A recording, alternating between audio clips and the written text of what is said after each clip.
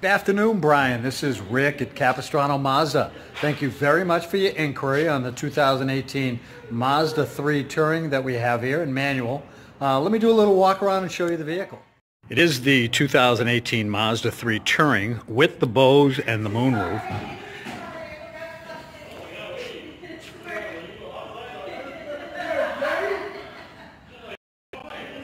It's in beautiful shape here.